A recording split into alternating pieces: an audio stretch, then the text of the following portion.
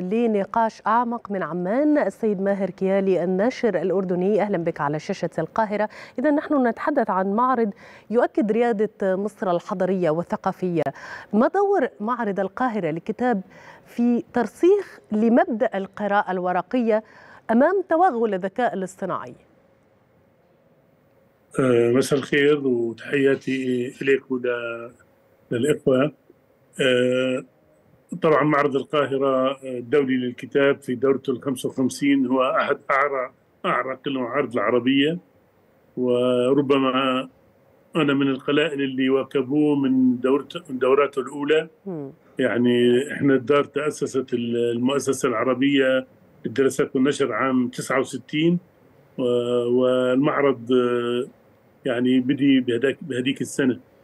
فالتطور كبير. تطور في عدد المشاركين تطور في مساحة المعرض. الأهمية الكبرى اللي بعول عليها معظم الناشرين المصريين والعرب على معرض القاهرة. وطبعا الظاهرة الجديدة اللي هي بنحكي عنها اللي هي الذكاء الصناعي و ويعني تأثيراته المستقبلية على عالم النشر. طبعا إحنا هلأ في البدايات و ولكن لسه يعني الكل عم بتلمس طريقه يشوف كيف يشوف كيف يعني هذا الذكاء بده يدخل على عالم النشر.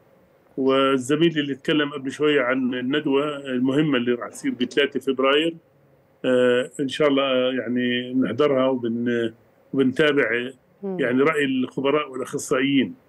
بس يعني أنا كناشر طبعا متوجس من قصة يعني إنه الذكاء الاصطناعي قد يعني يمكن مثلا أحد الأشخاص اللي مش بالضرورة يكون موهوب ابدي ادبيا أو ابداعيا إنه والله يعني يساعده الذكاء الاصطناعي يكتب رواية أو أو حتى يعني بجوز يقدر يعمل قصيدة شعرية أو يعني الواحد مش عارف حدود الذكاء الاصطناعي حتوصل فين.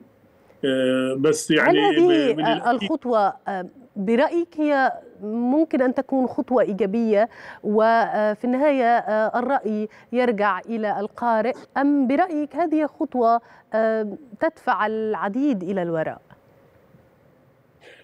يعني هو العلم والاختراعات دائما يعني دائما إيجابياتها أكثر من سلبياتها بس يعني هلا إحنا كواقع النشر الحقيقة يعني في في نوع من الأزمة بعالم النشر بالكميات اللي عم نطبع بنطبعها طبعا في ظواهر إيجابية بنفس الوقت عم بتصير في معارض الكتب وربما كمان في معرض القاهرة موجودة هاي الظاهرة. هي إنه عم بيكون في شركات اللي ممكن تطبع عدد يعني عدد محدود من النسخ حسب حاجة الناشر وحسب حاجة السوق. فظهرت اللي بسموها بالإنجليزي print on demand يعني الطباعة حسب الطلب وحسب الحاجة. فصار في شركات في قلب المعارض. ممكن لو كتاب صار عليه إقبال ممكن إنهم يطبعوا كمية منه ويلبوا السوق ويلبوا الناشر وال والقارئ. ف يعني هاي اختراعات كلها يعني طرأت جديدة على عالم النشر وعلى عالم الكتاب.